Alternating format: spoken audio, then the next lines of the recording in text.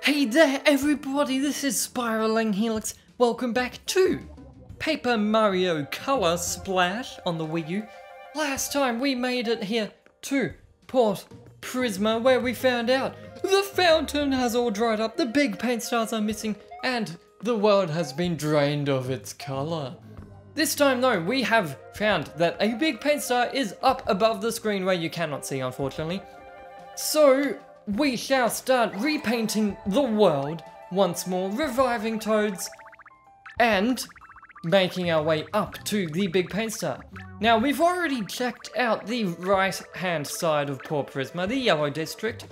We are currently in the red district, so I think our next port of call, as you might want to say, is over to the left in the blue district. But as you can see, while I'm repainting the world, you will sometimes get cards from this.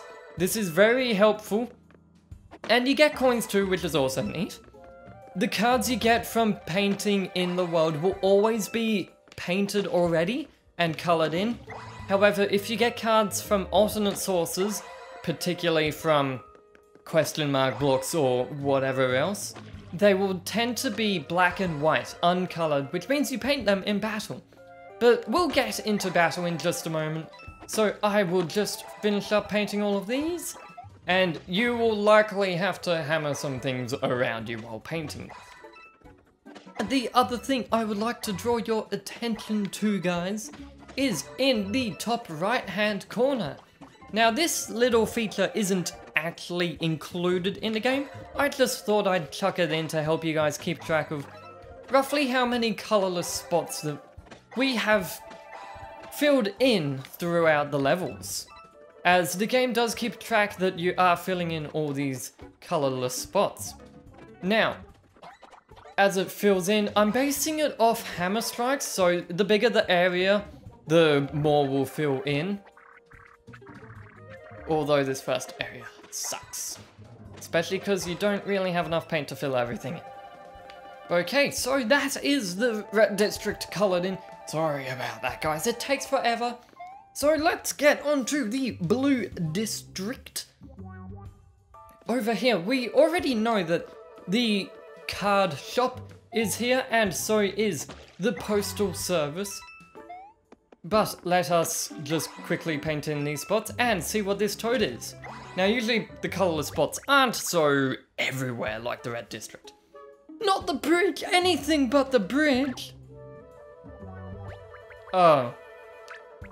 That really stinks. Most of the good stuff on, in the blue district is on the other side of this bridge. I'm no expert on bridge repairs, but I am an expert on bridge experts, and we're definitely gonna need one.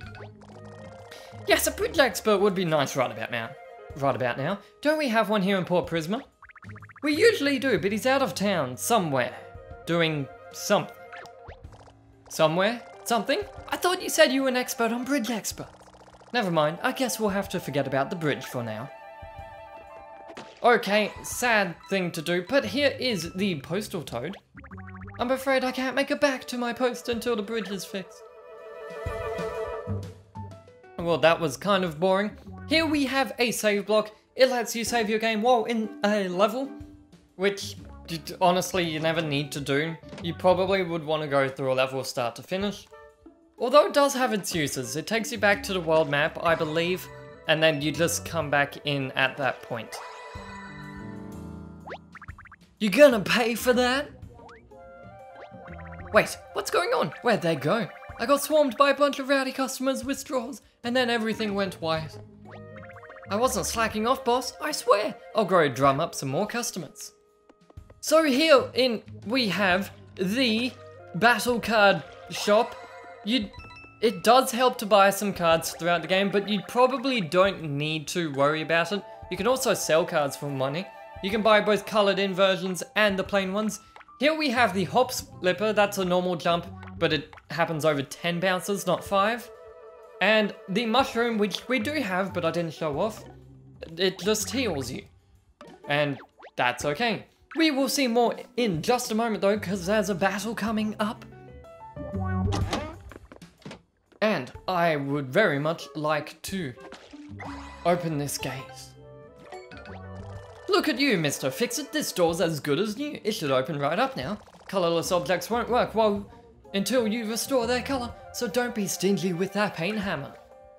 Okay, actually I'm just gonna grab some more paint here before the battle, because I'm kind of low on some of those colors. And red is very popular in battles. Boom! I mean, boom! Ah, I waited all day just to say that, and I totally blew it. Whatever. Fight me! Here we go, the Goomba! The classic first enemy, although it's technically the second one, because we've already faced some Shy Guys. So, I am just going to reorganize my cards, so the colorless ones are on the left, and the other ones are on the right, it grouped by roughly jumps, then hammers, then other cards. So let's just use a worn out jump, and you don't need to even paint the cards all the way, I'm pretty sure I will still kill it no matter what, but that's okay. Getting an excellent because every further hit gives you one coin. If you finish the battle without taking a single hit, you get a perfect bonus. If only I had said boom instead of goon. Yeah, you messed up, Goomba. Ooh, it's a hammer scrap. If you collect enough of these, you'll be able to store more paint in your paint hammer. Enemies sometimes drop them after battle, so be sure to pick them up after they disappear. So this is experience lets you store more paint, goes up in increments of 20, I believe? Or maybe it's 50, at least for the first few. Good night, cruel world. Wait, you're not a Goomba, you're Mario!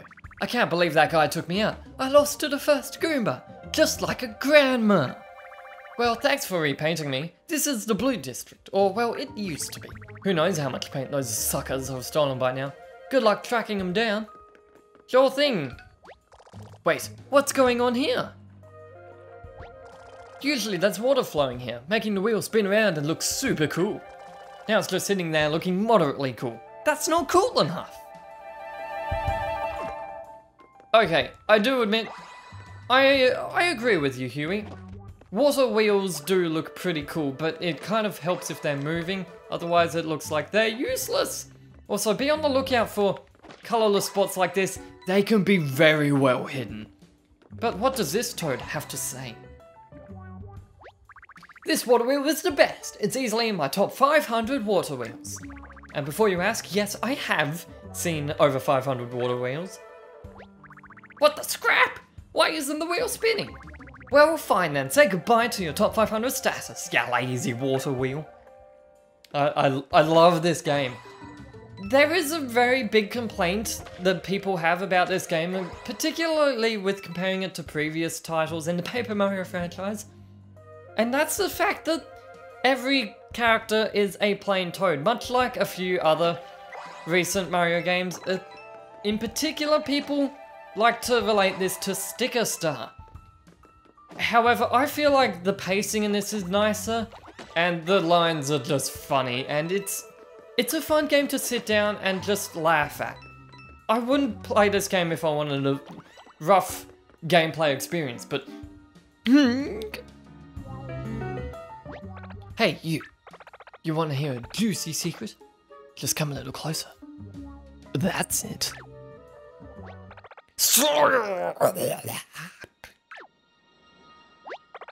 Where'd my straw go? Okay, we have a regular Shy battle here. Shy battle? Shy Guy battle? Red Shy Guy. We are used to seeing this, and what I will probably do from the next level onwards is kind of skip over any unnecessary battles because, let, let's face it, that didn't amount to much. You want to hear that juicy secret? I wear a mask because I'm afraid to put myself out there. Um, okay. I mean, you're called a Shy Guy, so I kind of expected that. Also, hammering the trash cans give you rainbow colored paint, which just boosts everything quite a bit. Hopefully you know your primary and secondary colors. You can see the primary in the top left, those being red, blue, and yellow, but you will likely see a lot of green, purple, and orange. Of course, if you didn't know for some reason or can't remember or mix it up with Colors of Light, which is green instead of yellow. green is blue and yellow, orange is red and yellow, and purple is blue and red. Anyway, everyone's stealing paint. As a last line of defense, I activated the emergency TP system here. But there's no way we can use this much TP, and I don't know how much, how to get rid of it.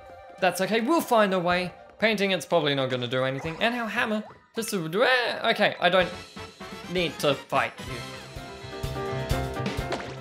Although I guess that's a good way of showing if you manage to hit the enemy before the battle begins, you can get a first strike, dealing a little bit of damage.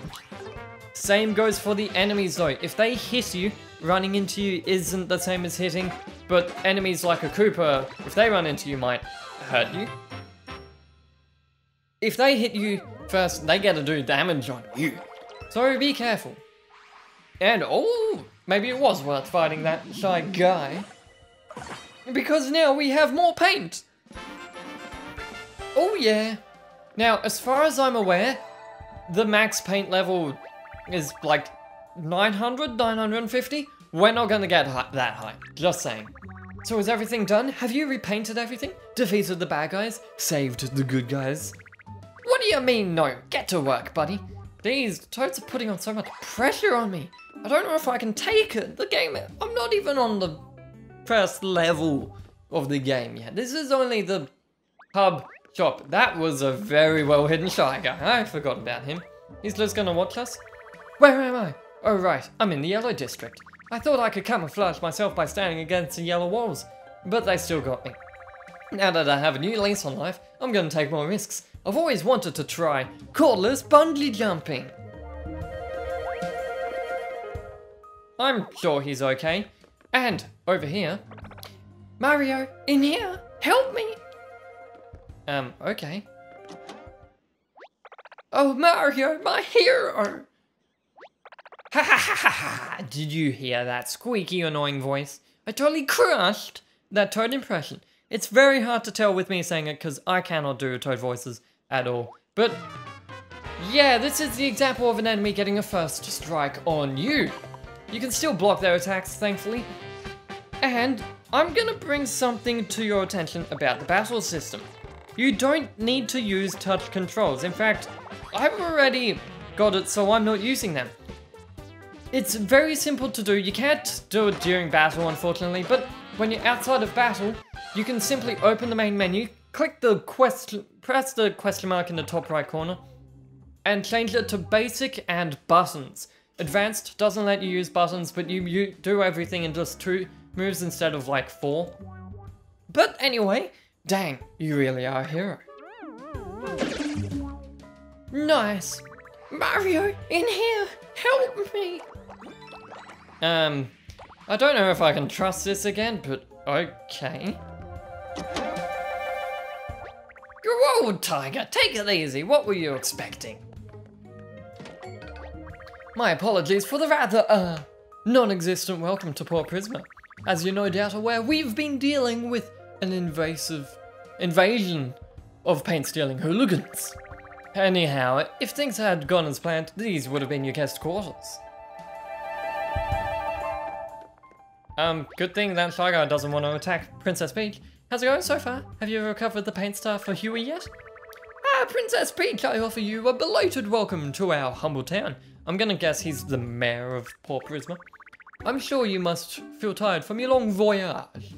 So please feel free to rest in these quarters anytime. Just suddenly change the accent of him. Oh, thank you, Purple Toad. We are a bit tired after all of this excitement, so we will take you up on that offer. I love how Princess Peach is just like purple toad. Even she knows there's too many toads that look alike. Anyway, Princess Peach can heal us, although we're on 49 out of 50 damage, so I'm not too worried. You can go in there and talk to her, but I don't think we need to do that. We can do this adventure fine without her.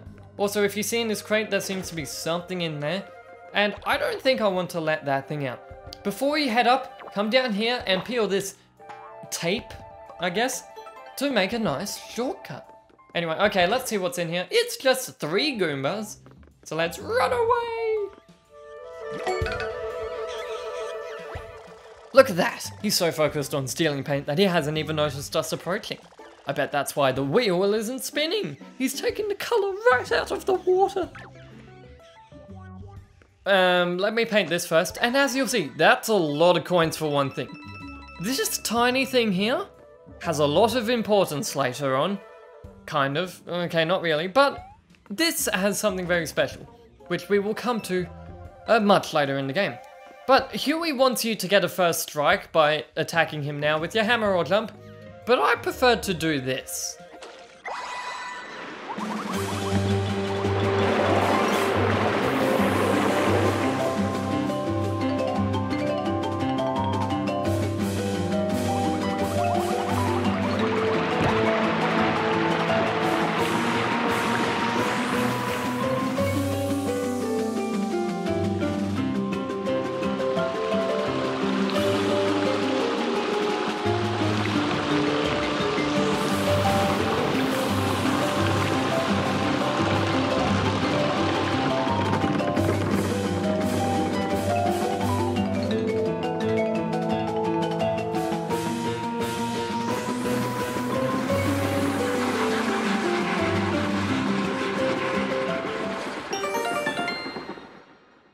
Hey, we didn't. And this Shy Guy is still here.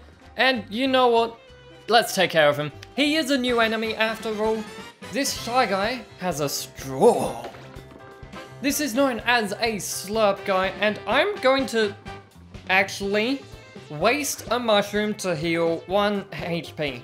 Because I kind of want to show the mushrooms off at some point in time. But I want to show off this enemy's attack even more so. Now, he will come and attack you, but he won't tend to do damage. Instead, he'll suck the paint out of your hammer and heal himself. So you do need to be a bit careful about him. Also, I don't think this worn out jump is going to kill him in one go, because slurp guys tend to have a bit more health than other shy guys. But if you get an excellent, you will be fine. Otherwise, I think he'll tend to bonk you on the head with this straw, dealing a bit more damage than the standard attack from But that's okay. The TP system has moved, and the water wheel over to the left is now active. I'm sure we can talk to the toads in the future at, at some point in time, but we came here for one reason and one reason only, to get the big paint star that is waiting up here. Yes, we made it to the big paint star, Mario. Let's go grab it. Hmm, actually, this isn't a big paint star after all. It's much too small. Mario, this is a mini paint star. Not to worry, this is a good sign. Mini paint stars are kinda like baby big paint stars. So we must be on the right track. Mini big mini paint stars will lead us to big paint stars. And big paint stars will lead to my beautiful fountain being restored to its former glory. Whoa, what's going on?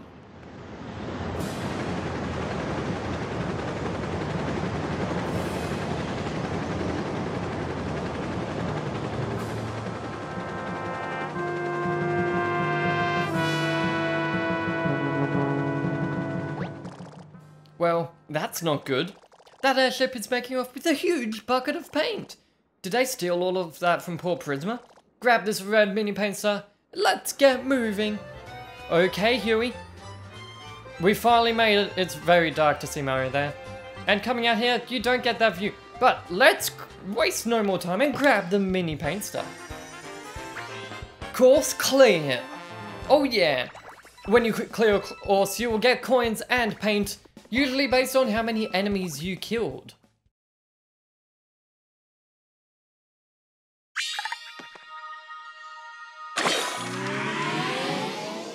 Welcome to the world map! And, as you will see, we have unlocked the next level, being... Ruddy Road. And if you look back at Port Prisma, you can see there must be another mini paint star somewhere, and we have restored 85% of the colorless spots. Here is Port Prisma in its colorless glory. Actually, Port Prisma is the town. Here is Prisma Island in its colorless glory. Don't worry, most of it is colored in, just not until we can access those areas. And it's worth noting, just before I leave you guys off, I'm going to go back down to my gamepad and open up the menu, go over uh, the last couple of things, basically get the ends of the tutorials out of the way as quickly as I can. So I've already told you how to change the rules in the settings for battle. You can also enable off TV play, so that will basically turn the TV input off, so you can play entirely on the gamepad. But you can also check some items, of which we don't have any yet, and some mail. Again, we don't have any of them.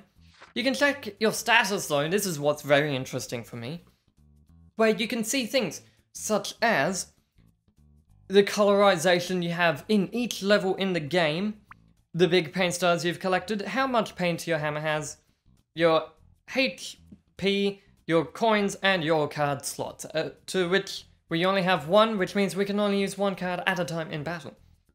But with that menu tutorial out of the way, guys, thank goodness, I think I will call it there. So, next time, it's finally, it's finally time for really the first level in the game, Ruddy Road. And I've got to say, if you haven't realized it yet, you're gonna love the music in this next level. Anyway though, with that guys, this has been Spiralling Helix. I will see you guys next time. Be sure to follow me on Twitter or subscribe if you want to actually keep up with updates. And I also do top 10s of each LP I do, so check out some of my past content too. So, see you guys next time. Bye bye.